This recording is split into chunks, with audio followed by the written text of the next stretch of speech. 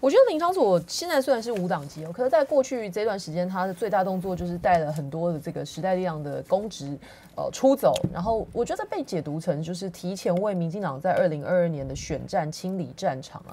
所以他现在虽然没有真的加入民进党，但是可以说是这个已经变成很有实力的这个侧翼的一份了。那民进党。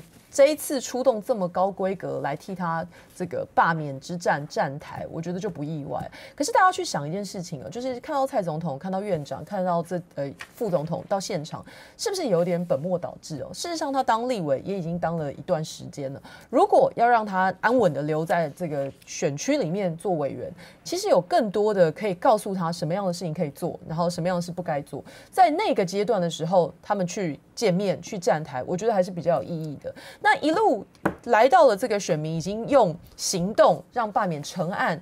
表达他们对林长佐的不满，来到一个高点的时候，那反而这些民进党高层才出手，那做的只是说求求大家让他继续留在选区了。那我觉得他们的付出跟想要追求的结果是真的本末倒置，那对选民来说是没有好处的。唯一获利的就只有林长佐可能可以继续得以留在选区，那唯一获利人只有他。可是对选民来讲是很不公平的。在过去一段时间，显然他们没有得到好的服务，还有这个好的问政品质，所以他们才会集结起来。那现在民进党。投入这么不对等的资源去替罢免，然后把它操作成说啊，这个要反恶霸，而不去思考他过去种种到底做了什么事情才会换得今日下场呢？我觉得是这样哈。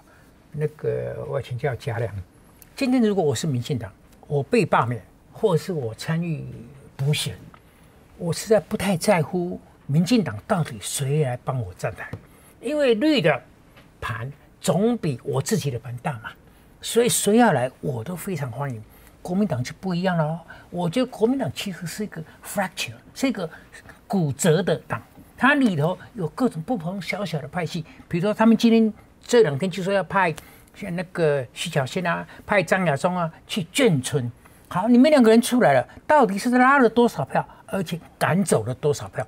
你今天林场总会想，今天你那个来来占我的台，如果是民进党没问题，但如果是国民党的，你来站我台。他是对我好还是对不对我不好？我就讲了，现在出面挺这个罢免的罢免的谁？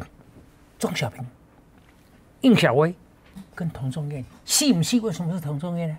对不对？所以童仲彦讲的道理、举的事实、揭发的弊案，再有多大的力量，只要来自童仲仲彦的嘴巴，这个效果就打折了。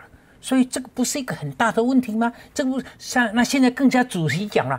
呃不要拼成蓝绿对决，但是万华区是蓝多于绿啊，啊，你连都怯战了，到这个目目前这个关头，你都说不要蓝绿对干，你到底在想什么？掌握全球情势、国际新闻，全新选择 YT 频道 TVBS 国际 Plus，扩大视野，欢迎订阅并开启小铃铛。